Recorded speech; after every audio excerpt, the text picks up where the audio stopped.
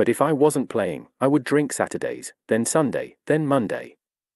Then I would try and train and it was no good, then have another drink just to pass the day away. I've had to deal with everything, but everyone has helped me, including Sir Alex Ferguson, to get through. George Best was a good friend of mine. We loved each other, we both knew where we were coming from. The drink. Yes, I've had tough times in my life, especially the last year, regarding my ex wife, my kids, I nearly broke my neck, I was on death row with pneumonia. I don't really do pranks anymore. I have a laugh in the dressing room here, where it's safe, and the guys don't go to the papers and tell them what I've done. I never refused an autograph, never refused to buy someone a drink. Now I'm learning to say I've got other things on, instead of doing it and wondering why. I'll tell you the truth, I had a double brandy before the game, but before, it used to be four bottles of whiskey. Not anymore. I was fine. I had a glass of wine after the game but it was just a mouthful. I'm going to do things when they are right for me. At the end of it, I'll maybe do a coaching badge, but I'm not going to get forced into things. Hopefully, everybody will just let me get on with my life. I'm going to. I am going to continue and bring this club forward.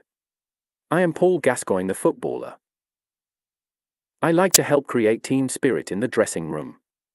I feel that I've got loads of love to give. Then all the foreigners started coming over. I don't mind that, but a lot of teams are laying out fortunes for ordinary players, and that's no good for our youngsters coming through. I know as a manager you have to abide by the chairman's decisions.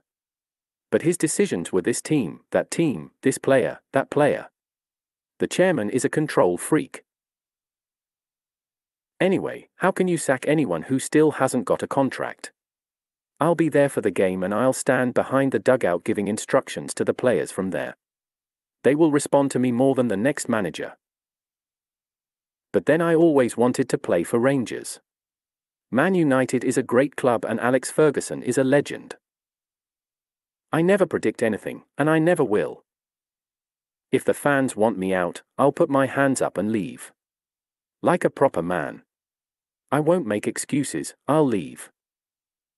You learn, right, a lot of people's problems, why they get upset, why they get down, why they turn to drink, is because they can't say one word and it's no. Well, I did know, but I just wanted the day to pass and the next day to come and then I wanted that one to pass. It was a horrible cycle. I felt so close to having to pack the game in. I thought I did well for someone who has been out for 10 or 11 months. Then I was sub against Liverpool and tried to play for the guys and work on my fitness.